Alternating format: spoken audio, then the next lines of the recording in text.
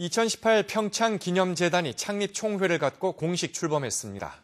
기념재단은 앞으로 평창 동계올림픽에 남긴 유산들을 보존하고 발전시키는 역할을 담당하게 됩니다.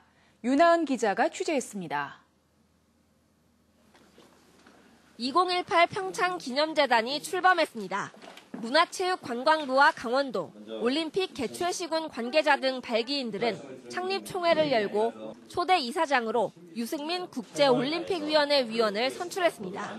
스포츠 행정가로서 겪었던 올림픽을 다 경험하면서 어, 느꼈던 그런 여러 가지 경험들을 어, 정말 어, 10분 발휘해서 이 재단이 어, 정말 지속 가능할 수 있도록 기념재단은 앞으로 재정 확보에 따라 사업을 2단계로 나누어 추진합니다. 우선 올림픽 대회를 치르고 남은 금액의 80%인 약 350억 원 등을 이양받아 남북 체육 교류, 눈이 없는 나라 청소년들을 위한 드림 프로그램 등 유산 사업을 추진합니다.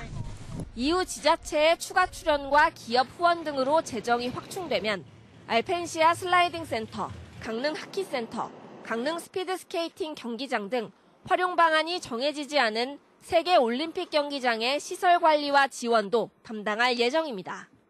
지역에서 당연적 이사 못해서 개체주 시군이 다 포함되어 있기 때문에 강원도나 개체주 시군의 목소리가 충분히 전달되고 반영될 것입니다.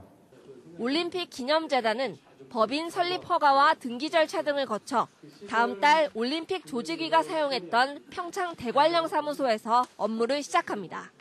MBC 뉴스 윤하은입니다.